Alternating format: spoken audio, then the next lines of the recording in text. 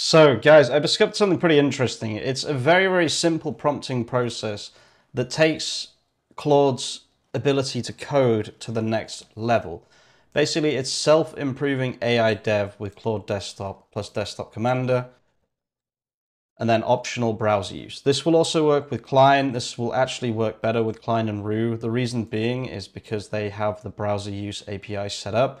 Unfortunately, Claude Desktop doesn't. I thought it did, but it actually doesn't. And I'm going to show you exactly what this system built for me very, very quickly and very, very easily.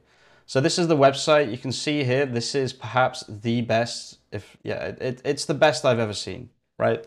It's easily the best designed. Everything works. Everything is um, SEO'd. This is literally the best I've ever seen out of any attempt from Claude to build this website. The only thing that doesn't work is the, oh, the Italian version does work. Oh, never mind. Oh, okay. Uh, for some reason, it changes back to English in some cases, but uh, yeah, I mean, everything works. You can see literally everything works. Now I'm gonna, I'm not gonna show you, I'm not gonna build this again. I'm gonna show you how I did this, right? So the first thing I did, just ignore the name, okay? I, I just write the first thing that comes into my head, okay? And it gets me into trouble, but... So I made this new folder, right? I ran npx create next app at 14.2.23, the name of the folder, which obviously I didn't think this was gonna be the recording, but then I decided to film it like this, so now everyone knows that that is the name of my folder. And then I just press yes, yes, yes, yes, yes. And now I take a screenshot of this because, and I'll tell you why, I feel like 99% of the times that there's some kind of problem with Next.js, it's because the install settings are not known to the developer, i.e. the AI, right? So it needs to know what settings were used here. Now, you could try and get Desktop Commander to make you your Next.js project. For me, that hasn't worked, right? And then the prompt is just the prompt that I always use. Um, it's on my Skool community. I'll leave it in the uh, description of this video as well, if I remember. So it's just on all my prompts. Feel free to join the Skool. It'll be the first link in the description. But basically, um, this is the prompt right here, and there is also a SOP here too. Now, the only other MCP that you may need for this, except Desktop Commander, is Bright Data. The reason being is because you're building something that has like um, the the car like this is a specific car it's a Rolls-Royce Ghost 6.6 engine um, so basically what you could do is you could get for example the specifications of the car to make sure that they're consistent so I used the desktop commander MCP for this the reason being is I really like how it actually allows you to properly like read the output of things. Another cool thing is that there's an edit block option instead of just editing the entire folder. But let's basically run through this process. So just before we get into the process, I'm going to tell you what's slightly different about this. But basically, instead of just running npm run dev, right? What we're actually going to do is we're going to run npm run build, right? And then we can fix all of the build errors. And then after that, we run npm run dev, fix all the runtime errors, fix everything, right?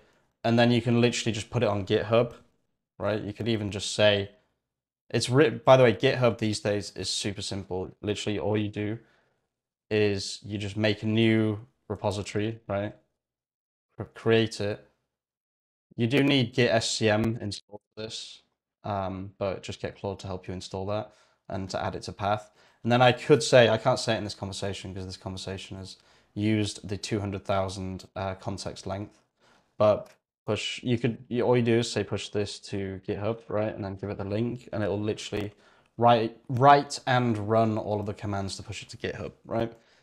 And then the really cool thing about this is this part here, right? Make the project I've outlined, but change two things. Firstly, you must deliver a perfect project. Launch the project on browser and self-improve both the style and look of it, as well as ensuring everything is implemented properly. Secondly, ensure there are no errors. Fix the errors you find using browser logs. So what this did was it did the standard build, right? So up until probably, um, you know, up until I stopped saying continue.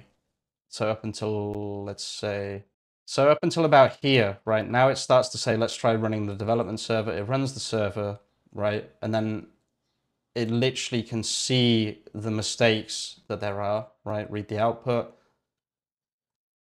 Middleware cannot be used with output ex uh, export, right? So this is something that is very common. So it fixes that. Beautiful. Terminate the process. Run it again. There we go. Let's see if there's any uh, outputs this time. Read output. Okay, so there's still the same error. So continue to fix, continue to fix. No errors. Beautiful and then it starts to run npm run build, right? And then there are mistakes, so it runs npm run build, it fixes the mistakes, it runs npm run build, it fixes the mistakes. And then if you're using Cline or Roo, like towards the end of this, if you're using Gemini, for example, you don't have to use Anthropic, right? So this finally builds, beautiful. And then in my head, right, the, the next stage of this, now this didn't work because um, I, I, for some reason, I thought that Claude could just open my browser. I, I don't know why I thought that. Cline can, right? I could, I could hop on over to Cline and say, um, open up my browser and test and see what's broken. But um, I've since then I've added something called browser MCP. But again, it's it's not quite what I wanted. Like it's pretty cool. It can see my browser and stuff. And this is I'm gonna make another video about this because it can do things like apply for LinkedIn jobs for you or or whatever. It could create Fiverr gigs for me. Actually, that's a pretty good one. Um, but overall, what it's built is it's built a production ready um, website, right? I can literally take this website now and I can launch it. It would be so easy to launch, it's actually ridiculous. Because npm run build works, right? It will be I'm really sorry about the name of this folder, guys. Um, it'll be really, really simple to to launch this. So let's just um, kill the pro. I don't even know how to kill the process. I'll just go off Claude Desktop, I guess.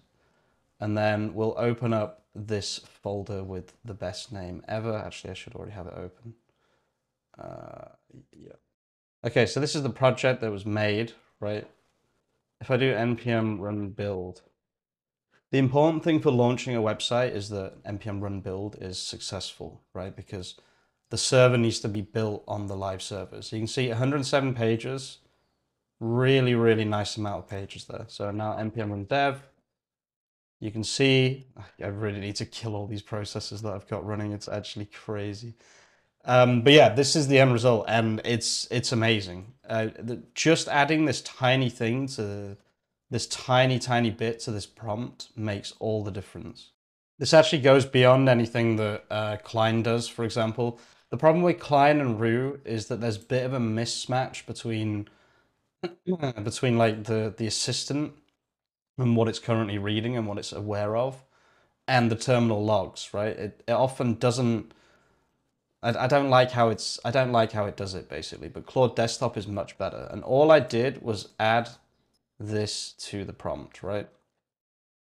Make the project I've outlined, but change two things. First, I'm going to probably change this prompt a little bit before I post it, but I'm probably going to make sure that it runs npm or that the project builds. Um, yeah, just the self-improving nature of this with uh, Desktop Commander, MCP, works extremely, extremely well.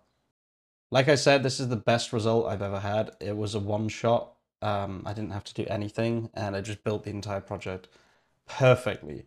Perfect SEO. Why did that not work? Oh, wait, the, is the project still running? No, I don't think that, project's still running. Yeah, there we go. So it does work. Perfect result. This is the best I've ever seen it. I'll leave the video there, guys. This is a huge improvement and it just uses a very, very simple feedback loop um, inside the prompt. I'll leave the prompt in the description. I'll leave the other prompt as well to build this project. Thank you so much for watching. If you're watching all the way to the end of the video, you're an absolute legend. And I'll see you very, very soon with some more content. Peace out.